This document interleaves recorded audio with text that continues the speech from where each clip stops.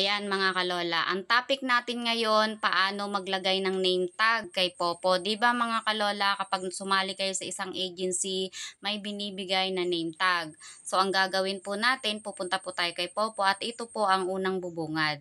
Tapos pipindutin lang ito mga kalola yung nasa baba na icon sa kanan. Ito po. Pipindutin po yan. Tapos dito po kayo mapapasok.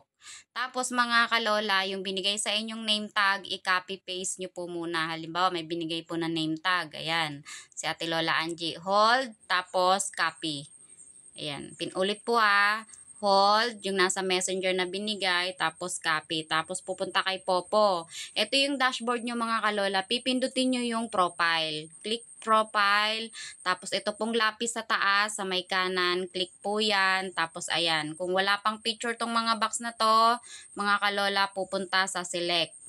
Ayan, hanap, makakarating kayo sa inyong mga album. Ayan, itong mga plus na to, tapos select. Pipindutin lang yun. Lagyan nyo po ng mga picture yan mga kalola para yan ay mapuno. Tapos, ang itong nickname na to pipindutin. Dito tayo magpapalit ng pangalan. Yan. Nickname po ang papalitan. Click, click nickname, tapos ito. Burahin nyo lang po yung pangalan na nakalagay dyan, ganyan. Tapos, i-paste nyo po, hold, tapos, paste. Ayan, tapos, pipindutin ang save. Ayan, mga kalola. Ito na po siya. Ganyan po ang mangyayari. Tapos, ayan. Ganyan po mga kalola, back lang ng back. Tapos, yun. Ganun po ang pagpapalit ng name tag ha. Yung mga nagagandahang babae, wag magkaka, wag maliligaw. Yung mga nagagandahang babae, tapos icon sa baba, sa kanan, tapos click profile.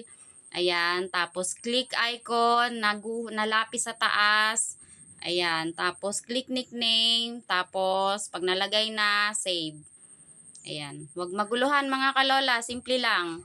Ulitin ko, dito sa mga magagandang babae, icon sa baba na kanan, tapos profile, tapos lapis, tapos nickname, tapos save.